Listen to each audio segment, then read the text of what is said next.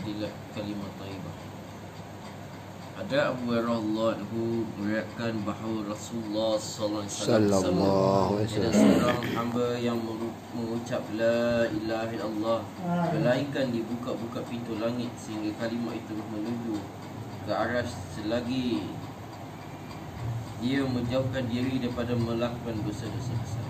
Ada Abu Hurairah Allah meriwayatkan bahawa Rasulullah sallallahu alaihi wasallam bersabda, tidak seorang hamba yang mengucap la ilaha illallah melainkan dibukanya pintu langit sehingga kalimah itu terus menuju ke arah selagi dia menjauhkan diri daripada melakukan dosa-dosa besar. Hadiah hadiah. Tengok. Kelebihan kalimah ini sangat besar dan penerimaan Allah SWT Terhadap kalimah ini sangat tinggi sehingga kalimah itu terus menuju ke arash Juga telah diketahui jika kalimah ini diucap oleh orang yang melakukan dosa-dosa besar Sekalipun masa yang dia akan mendapat manfaat Mula Ali Qari rahmatullahi berkata bahawa syarat supaya mengelak mengelakkan diri daripada melakukan dosa-dosa besar adalah agar kalimah ini diterima dengan segera dan terbuka semua pintu-pintu langit Sedangkan ucapan kalimah ini seorang yang melakukan dosa-dosa besar pun diterima oleh Allah SWT dan akan diganjari. Dalam menerangkan maksud hadis ini, setengah ulama berkata bahawa selepas kematian orang sedemikian, pintu langit akan dibuka bagi memuliakan rohnya.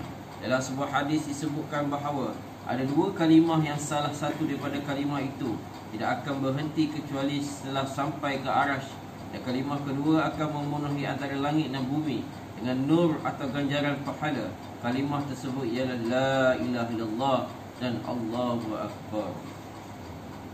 Ada ialah bin Syaddad radhiyallahu anhu berkata ayah saya Syaddad radhiyallahu anhu telah meriwayatkan satu peristiwa yang dibenarkan oleh Hadad Ubadah bin Samit radhiyallahu anhu. Katanya bahawa beliau pernah sekali kami berada di sini Nabi SAW dengan tak semena-mena baginda SAW bertanya Adakah terdapat orang asing, orang kafir di kalangan kamu? Kami menyahut tidak wahai Rasulullah Lalu baginda SAW menyuruh kami menutup pintu. Kemudian baginda SAW bersabda Angkatlah tangan-tangan kamu dan ucap La ilaha illallah. Maka kami mengangkat tangan-tangan kami setika mengucap La ilaha illallah. Atas baginda SAW bersabda Segala pujian bagi Allah Wahai Allah Sungguhnya engkau mengutus aku dengan kalimah ini. Engkau telah menjanjikan kepadaku syurga dengan kalimah ini Dan engkau lah tidak mengi- mengukir janji. Setelah baginda salam bersabda Gembiralah kamu Kerana Allah SWT mengampuni kamu sekalian. Ada Yala bin Syahdad Allah anhu berkata Ayah saya Syahdad Allah telah meriwayatkan bahawa satu peristiwa yang dibenarkan oleh Hadad Ubadah bin Samit Allah anhu.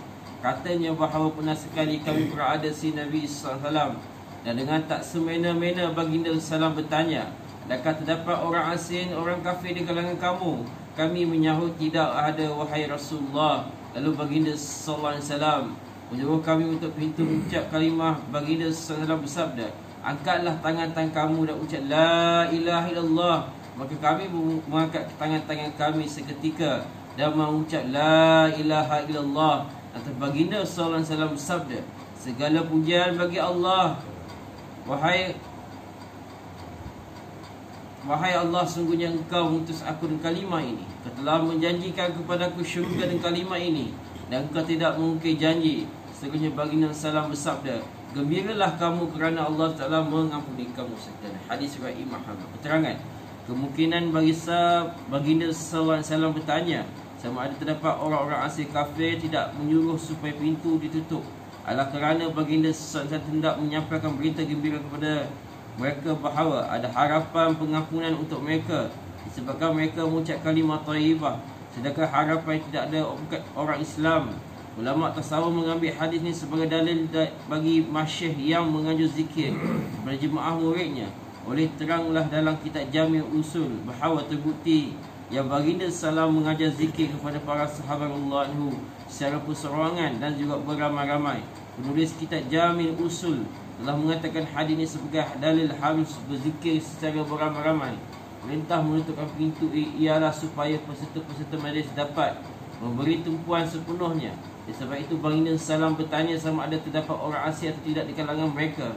Dengan ada orang yang asing, walaupun tidak akan mendatang gangguan kepada baginda salam, tetapi kemungkinan besar akan mengganggu peserta-peserta majlis itu. InsyaAllah. InsyaAllah. Kita amalkan dapat sampai kepada Rasulullah. 还是